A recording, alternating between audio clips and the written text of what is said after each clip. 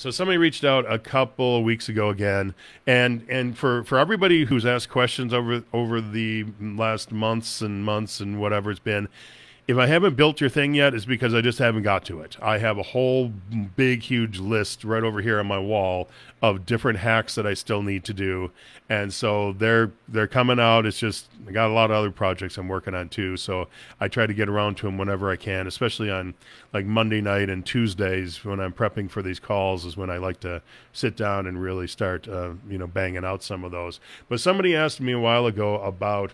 Uh, Cardone University. Let me see if I can pull it up here real quick. Yeah. Okay, so here's the page right here. So what they were interested in is you're going to see a phone appearing down here in the bottom. And uh, so as you scroll up, you got some text on the right hand side, and you got the phone on the left hand side. And we're just going to keep scrolling. And as we do that, you're going to see here as the phone starts to change and they were like, "How in the heck did they do that?" Now, I can tell you right now, the hardest part you're going to have with doing this is going to be getting that image of the phone and getting it absolutely perfect. Because again, as we scroll along here, we have a, you know, we have another one, and then it gets covered up.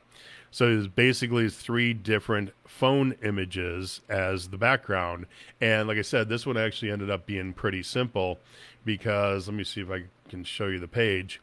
So all I did here is this is a background image. So I just went into Cardone's site, I grabbed his images, plunked them in here as backgrounds, and then I set them as parallax. So let me see if I can get this open. All right, so here's here's the image, and here it is set as parallax. And then I just put a bunch of padding in here and threw in some some text and some images just to make it look right. And so you see here, there's three three different sections and three different images.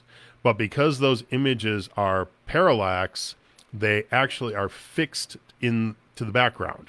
So just like where we were doing the sidebar before, where we take the sidebar, we build it at the bottom, and then we fix it to the left hand side. When you do a parallax image, it fixes it to the background.